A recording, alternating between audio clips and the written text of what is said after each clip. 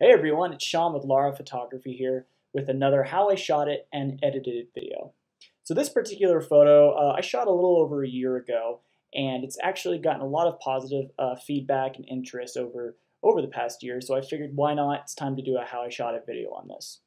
So in this case, got a bunch of the groomsmen together uh, which was a challenge in itself because they were all very uh, well well inebriated. They were. Uh, this was towards the end of the night, right before I left, actually, and uh, getting them all to cooperate was very difficult. But hey, we got it. And once I showed them this photo, it was great because they all wanted their each individual, uh, their own individual cigar shots, um, which is a great way actually, not only to you know make everyone happy, but hey, potential clients maybe in the future.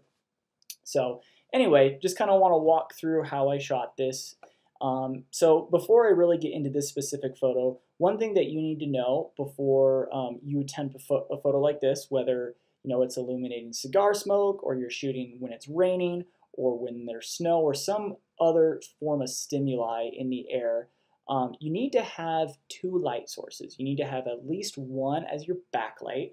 Um, that's what's actually going to illuminate the stuff in the air, and again, in this case, smoke.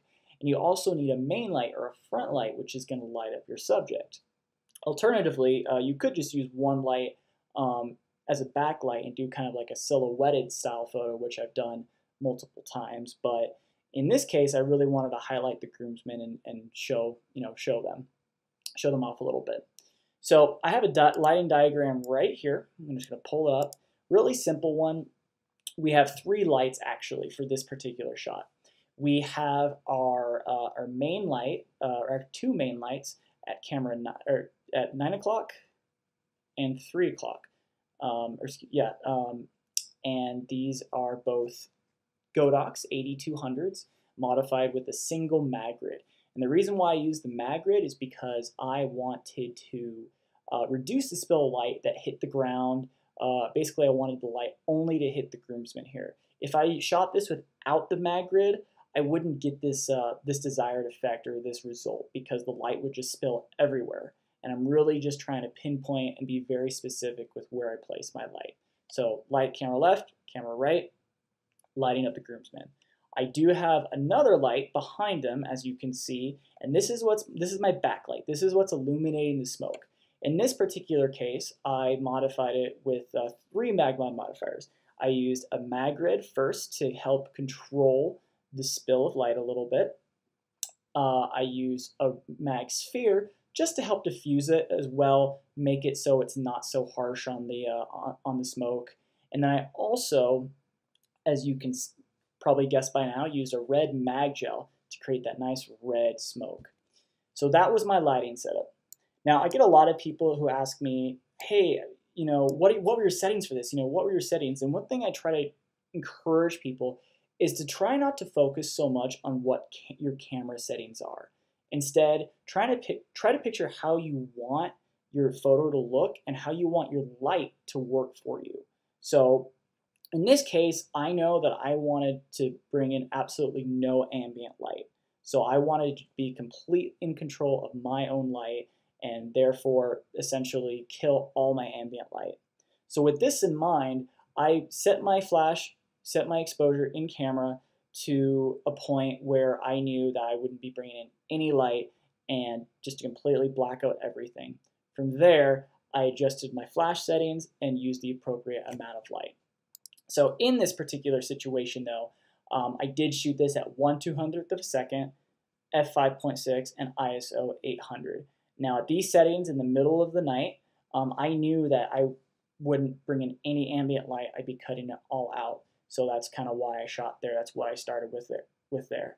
I don't really remember why I was shooting at 800. In retrospect, I probably could have um, shot a little bit lower, but I think my reasoning at the time was I wanted a little bit of um, wanted a little bit of a, a wider aperture so I can get more uh, more of the groomsmen in focus, and I wouldn't have to worry about um, any anyone being soft. I think that's why I did that, and I compensated with my aperture um, as a result.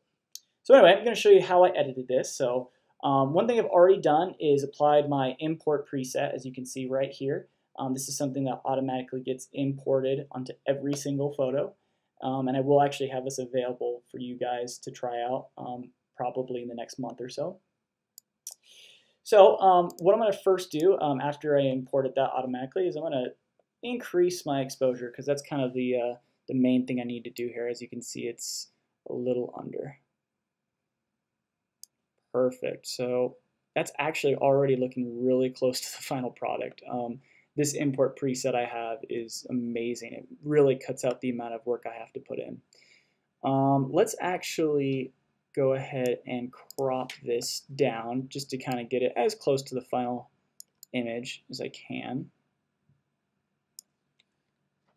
And as you can see, I did shoot this from kind of a low perspective, um, just because I thought it'd be a little bit more interesting than shooting at eye level. Um, I'm going to increase the clarity quite a bit. It's going to help make the smoke pop. It's going to help give them a little bit more uh, dimension. Just going to make it, just kind of make it more of a punchy photo. And um, honestly, that's pretty much it. That's that's really how simple it was. The you know the big thing with this photo was actually just um, getting it right perfect off the camera as I could. Um, if I really wanted to, you know, I could come in here and like clean up some of these shadows a little bit. I could add some, you know, add some more shadows, but then I start losing a little bit of detail, getting some noise in the black, so I don't really want to do that. But if I was really picky, I was entering this in a competition or something, I could, you know, use my adjustment brush and, uh, you know, maybe paint some more detail onto the side of this guy's face. But honestly, I kind of like the, uh, kind of like how it looks right here. I like this this uh, you know this kind of moody effect on some of these guys. And um, I'm a little bummed. At, when I originally was a little bummed, I couldn't see this guy, but after looking at the image, um, I kind of like it. It gives it a little bit of a mysterious vibe to it. Um, and other than that, I might just actually bring down the highlights a little bit because some of the uh, skin tones are a little blown out. But other than that, um, that's pretty much it. Let's see how close I got to the uh, my original edit yeah, pretty uh, pretty damn close. Pretty much the same photo. So, well, that's how I shot and edited it. If you guys have any questions on um, the editing techniques I used here or any on my other photos, please feel free to hit me up. My email is sean at seanlara.com. I hope you guys have a great evening, and we'll catch you soon.